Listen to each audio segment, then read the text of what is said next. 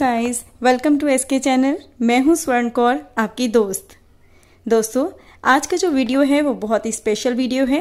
आज की वीडियो में मैं आप लोगों से बात करूँगी सफिक्स एंड प्रिफेक्स की। ग्रामर में आप लोगों ने इस टर्म के बारे में सुना होगा, लेकिन बच्चे बहुत बार कंफ्यूज हो जाते हैं कि कहाँ पे सफिक्स का मीनिंग क्या है और प्रिफिक्स का मीनिंग क्या है और इन्हें कैसे यूज़ किया जाता है। तो आज की वीडियो में हम इसे देखेंगे, लेकिन अगर अभी तक आपने मेरे चैनल को सब्सक्राइब नहीं किया है तो जल्दी से मेरे चैनल को सब्सक्राइब कर दीजिए। तो दोस्तों, सबसे पहले मैं बात करूँगी सफिक्स की। देखिए ग्रामर में बेसिकली सफिक्स का जो मीनिंग है वो क्या होता है? सफिक्स जो होते हैं वो अ लेटर और ग्रुप ऑफ़ लेटर्स या तो एक लेटर या फिर ग्रुप ऑफ़ लेटर्स जो कि किसी भी वर्ड के एंड में ऐड किए जाते हैं, जो कि किसी की, किसी भी वर्ड के एंड में ऐड किए जाते हैं, और वहीं पे वो उसके मीनिंग को पूरी तरह से चेंज कर देता है, वो हमारे सफिक्स कहलाते हैं। फॉर एग्ज़ाम्पल मैं अभी आपको दिखाती हूँ। जैसे मैंने यहाँ पे लिखा स्लो स्लोली स्लो यहाँ पे एक वर्ड है और उसके बाद सफिक्स ऐड किया गया है एल वाई जिससे ये बना स्लोली यहाँ पे जो स्लो है, वो तो एडजेक्टिव का काम कर रहा है, लेकिन स्लोली यहाँ पर एडवर्व का काम कर रहा है. तो इस तरह से इसके मीनिंग और वे जिस वे में हम उस वर्ड को यूज़ कर रहे हैं, उस वे को चेंज कर देता है.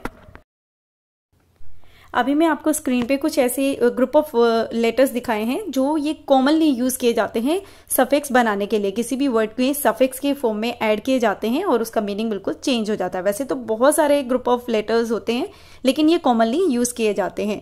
अब मैं आपको आपको ये चीज़ क्लियर हो गई होगी कि जो सफिक्स होते हैं, वो वर्ड के एंड में ऐड किए जाते हैं। टू चेंज इट्स मीनिंग जो उसका वे है, उसको यूज़ करने का जो तरीका है, उसमें भी उसको चेंजेस करता है और उसका मीनिंग भी कई कई वर्ड्स का चेंज कर देता है। अभी आपको और एग्ज़ाम्पल दिखाती हूँ।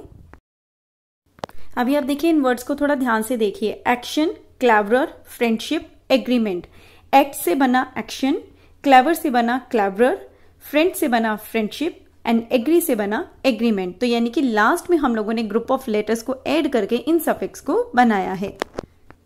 चलिए, अब देखते हैं कि प्रिफिक्स क्या होते हैं। देखिए, प्रिफिक्स जो होते हैं, वो नाम से ही क्लियर है, रहा है। प्री फिक्स यानी कि पहले फिक्स किए जाने वाला। इसका मीनिंग क्लियर कर लेते हैं। प्रिफिक्स का मतलब होता है लेटर्स या फिर ग्रुप ऑफ़ लेटर्स जो कि किसी भी वर्ड के स्टार्टिंग में, यानी कि बिगनिंग में ऐड किए जाते हैं, उसके मीनिंग को चेंज करने के लिए। चाहे तो उसके मीनिंग को अपोजिट भी बना दिया जाता है और उसका मीनिंग भी चेंज कर दिया जाता है, लेकिन वो हमेशा वर्ड्स के बिगनिंग में ऐड किए जाते हैं। ये कुछ कॉमन प्रिफिक्स हैं जो कि ज़्यादातर यूज़ किए जाते हैं। मैंने अभी आपके साथ ये शेयर किए हैं।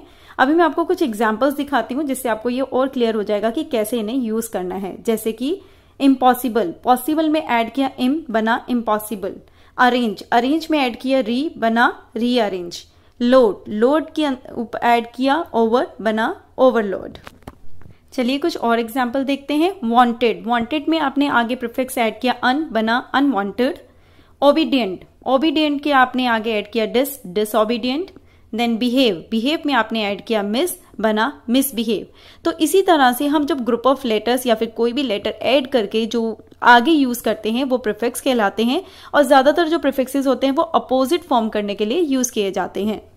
तो फ्रेंड्स आई थिंक आपको ये टर्म क्लियर हो गया होगा कि सफिक्स जो होती हैं, वो वर्ड्स के एंड में ऐड किए जाते हैं ग्रुप ऑफ़ लेटर्स और प्रिफिक्स जो होते हैं, वो वर्ड के स्टार्टिंग में, यानी कि बिगनिंग में ऐड किए जाते हैं।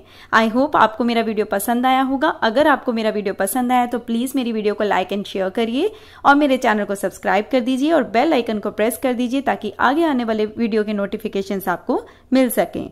आगे नई वीडियो बनाकर जल्द ही आपके साथ मिलूँगी। तब तक के लिए bye and have a nice day